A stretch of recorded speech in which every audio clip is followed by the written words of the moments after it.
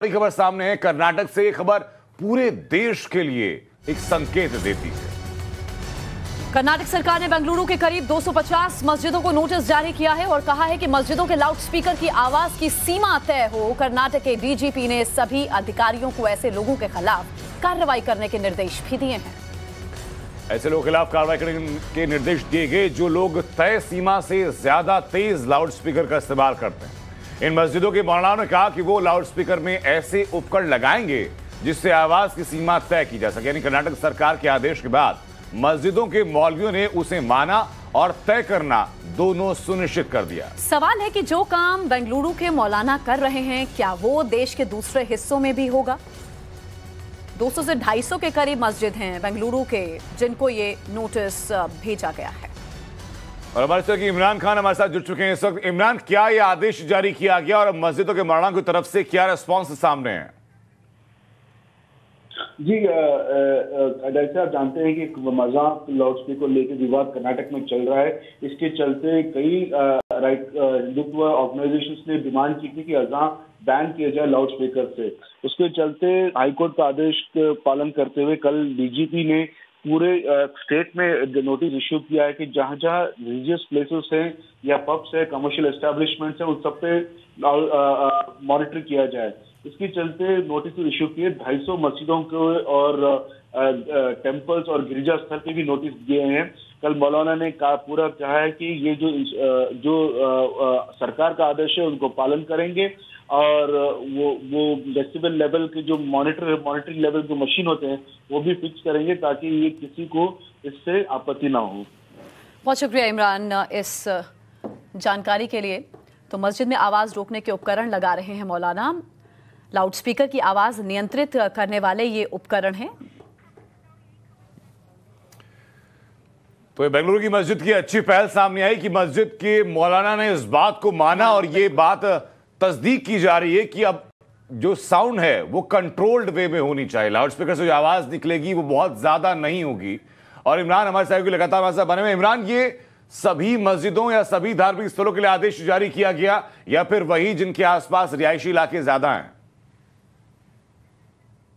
पूरी सभी मस्जिदों पे किया गया है और खासकर पुलिस स्टेशन के लोकल पुलिस स्टेशन पे ज़िम्मेदारी दी गई है कि वो चेक करें कि जहाँ पर भी आवाज़ के लेवल जो सीमित है उससे ज़्यादा हो तो उस, उसको नोटिस दिया जाए और वहाँ पर जो सरकार का आदेश है जो जिस सीमित लेवल पे जो आवाज़ होनी चाहिए उस पर मेंटेन किया जाए। मैं बिल्कुल इमरान वापस लौट रहे हैं आपके पास। और हमारे साथ इस वक्त शोएब जमई जुड़ चुके हैं।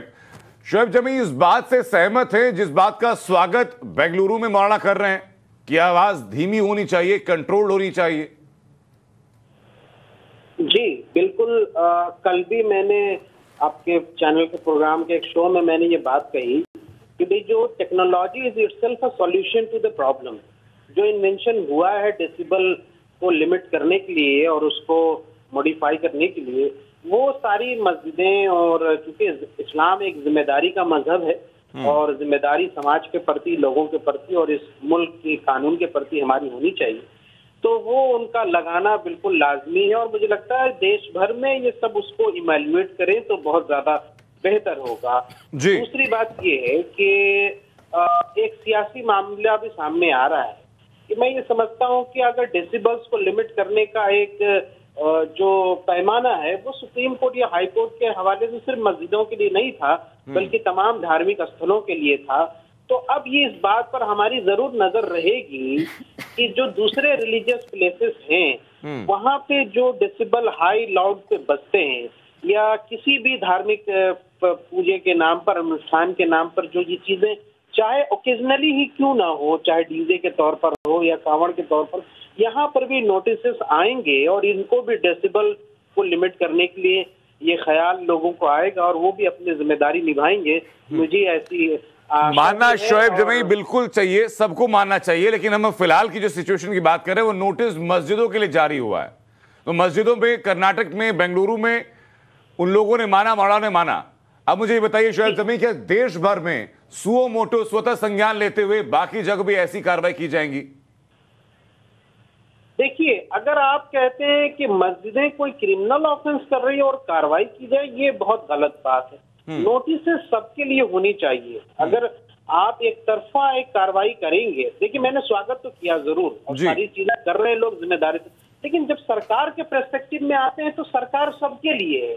सरकार का कोई धर्म नहीं होता स्टेट या बिल्कुल ठीक बात है कोई आपकी। धर्म नहीं होता। तो हमारी कार्रवाई हमारे निर्देश हमारी नोटिस सबके लिए हो जो लगे एक समाज के अंदर लोगों को एक उम्मीद जगे कि यस शोएब जमाई ये चीज़ सरकार से पूछी जा सकती है शासन प्रशासन से पूछी जा सकती है कि सिर्फ़ मस्जिदों के लिए भी नोटिस क्यों बाकी जगह भी दी जानी चाहिए। ये बात आपकी बिल्कुल वाजिब है। ये सबके लिए नियम लागू होना चाहिए। लेकिन मैं फ़िलहाल सिर्फ़ मस्जिद पर फोकस इसीलिए कर रहा हूँ कि नोटिस 250 मस्जिदों को अभी भेजा गया है। तो मेरा सवाल सिर्फ़ ये कि बाकी जगह भी क्या नोटिस की ज़रूरत पड़ेगी? ये जैसा कि आपने कहा कि हम लोग जिम्मेदार हैं और आप तो इस्लामिक स्कॉलर हैं। तो आप खुद ही मांग करेंगे कि बाकी जगह जो मस्जिद है वहाँ पर भी स्पीकर लाउड स्पीकर में यही डिवाइस लगाई जाए। बिल्कुल जायज़ बात है और देखिए सब लोगों को ये बात सुनाइए भी और वीडियो बना के भी कि भाई शोएब जमई जो यहाँ से शाहीन बाग आंदोलन हमने चलाया पूरे देश भर के लोगों ने हमारी बात मानी एक आवाज़ पर खड़े हो गए। तो मैं ये गुजारिश कर रहा हूँ कि अल्लाह ने हमारे मज़हब को एक सलामती का और ज़िम्मेदारी का मज़हब बनाया। रमज़ान का महीना ही होता है दूसरों को दुख को समझने के लिए और दूसरे की भूख को समझने के लिए हमको भूखा रखाना पड़ता है कि भाई हम लोगों की भूख को समझे। तो इतना बड़ा मैसेज जो होता है तो हम भी समाज के प्रति अपनी ज़िम्मेदारी निभाएँ और एवरीवेयर हमारे झारखंड में हो या दूसरे स्टेट्स में हो जहाँ जहाँ भी आप बहुत हाई पिच में उसको करते हैं उसको लिमिटेड डिसेबल बिल्कुल होना चाहिए और जो बेंगलुरु के जो मौलाना है उनकी तरफ़ से तस्दीक दिया गया उनकी तरफ़ से दलील दी गई कि भाई चूँकि ये डिवाइस ऐसा डिवाइस जामा मस्जिद में भी लगाया गया है इसलिए हम लोगों को कोई गुरेज नहीं है और ये देशव्यापी स्तर पर होना चाहिए। बहुत शुक्रिया शोभ भाई आपको तो जुड़ने के लिए।